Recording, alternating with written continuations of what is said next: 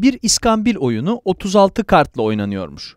İskambil destesinin 52 karttan oluştuğunu biliyorsanız bazı kartların bu oyunda kullanılmadıklarını anlamışsınızdır.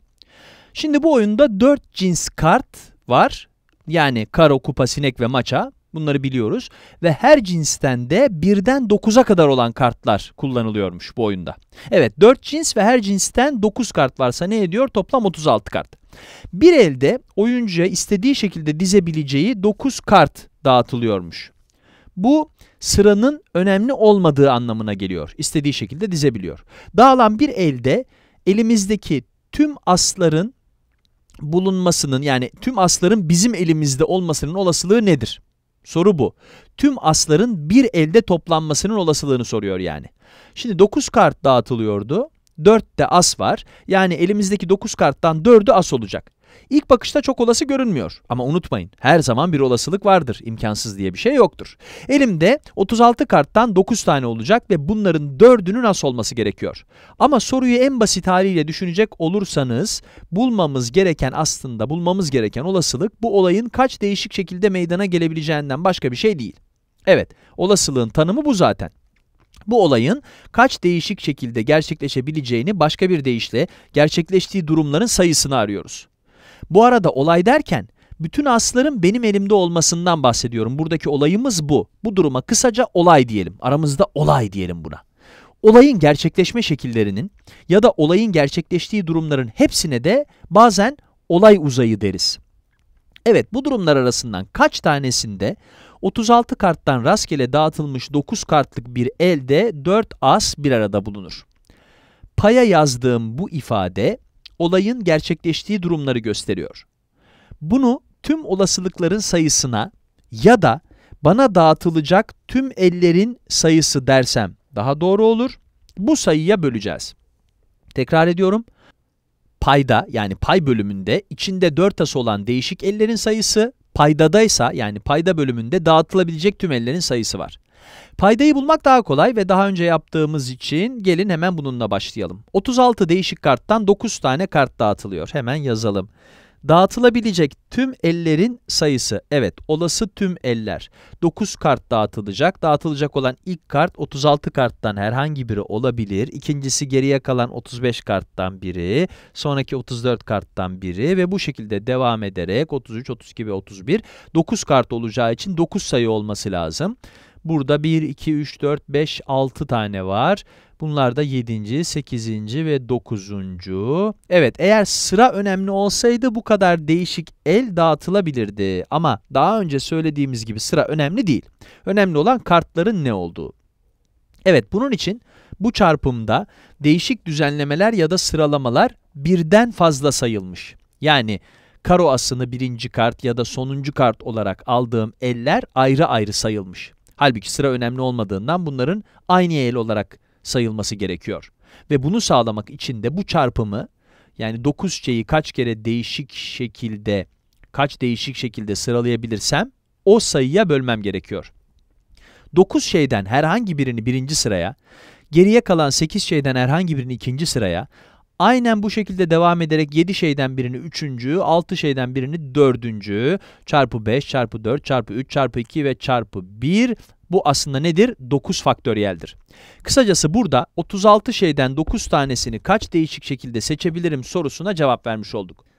Kombinasyon formüllerinden de hatırlarsanız bu 36 faktöriyel bölü 36 eksi 9 faktöriyel yani turuncu kısım çarpı 9 faktöriyele eşit. Turuncu bölümü turuncuyla, yeşille yazdığım bölümü de yeşille gösterdim. İşte dağıtılabilecek tüm ellerin sayısı budur. Şimdi de bu 9 karttan 4'ünün as olduğu durumları bulmamız gerekiyor.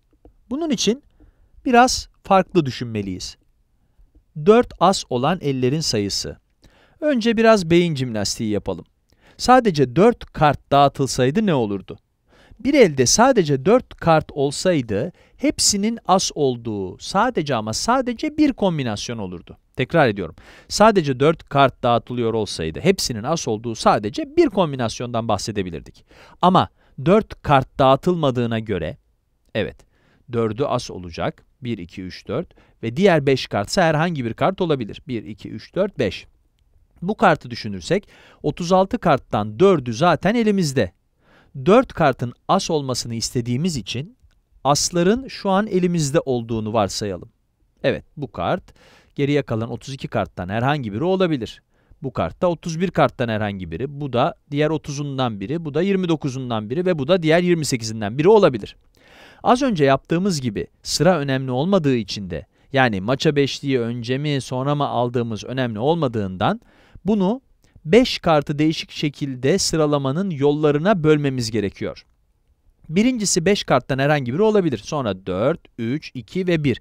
Ve elimizde 4 asın olduğu ellerin sayısı geriye kalan kartların nasıl gelebileceğini düşünerek bunu bulduk. Neden bu şekilde yaptığımızı merak ediyorsanız, 4 tane as olduğu için ve bu asların hepsini istediğimiz için diğer 5 kartın kombinasyonlarını hesaplamamız gerekiyor, değil mi? Tekrar ediyorum, 4 asın da bende olduğu ellerin sayısını söylüyoruz, merak ediyoruz. Diğer 5 kartın kombinasyonları işte bunu belirler. Şimdi, bütün asların bende olduğu ellerin sayısını dağılabilecek tüm ellerin sayısına böleceğiz.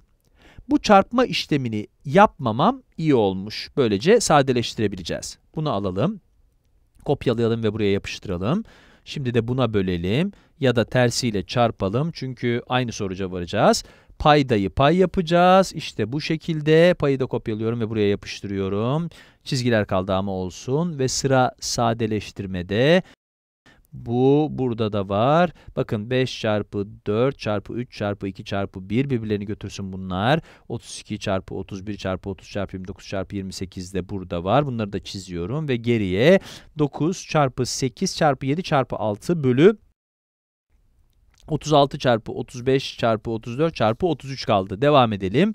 Payı ve paydayı da 9'a bölersem burada 1, burada 4 kalır. 4'e bölersek burada 2, burada 1 diye bölersek bu 1 olur. Bu da 5. 2'ye bölelim. Burası 1, burası da 17 olsun. Son olarak bunları da 3'e bölersek bu 2, bu da 11 olur. Bakalım şimdi toplamda ne etti? 36 kart arasından rastgele dağıtılan 4 karttan, pardon, rastgele dağıtılan 9 karttan 4'ünün as olma olasılığı payda 2 var. Evet 2 bölü 5 çarpı 17 çarpı 11 ve buradan da bulabiliriz ki hazır mısınız? Geliyor sonuç geliyor. 5 çarpı 17 çarpı 11 935 eder. Evet sonucumuz 2 bölü 935. Aşağı yukarı binde 2 ya da 500'de 1 olasılıkla. 36 karttan dağıtılan 9 kartın 4'ü as olabilirmiş. Zaten ilk bakışta da pek olası değil diye düşünmüştük değil mi? Yine de binde 2 imkansız demek değildir.